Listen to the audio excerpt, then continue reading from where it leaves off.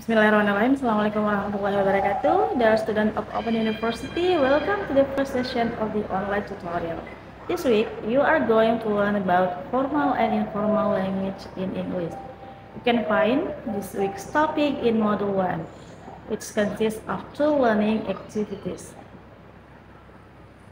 Pada minggu ini, Anda akan mempelajari tentang bahasa formal dan informal dalam bahasa Inggris.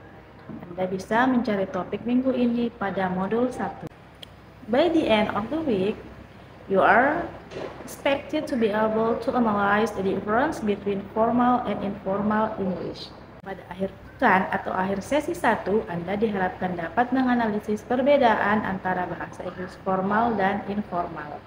So students learn the material, do the exercise, and participate in discussion forum. See you. Assalamualaikum warahmatullahi wabarakatuh.